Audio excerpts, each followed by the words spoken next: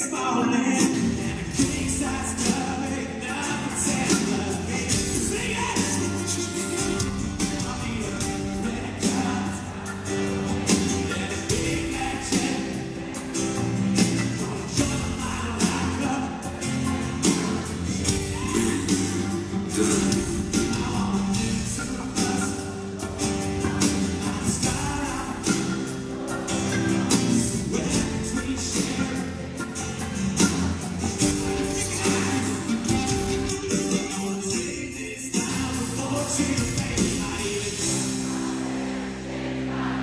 Cause when I was doing big things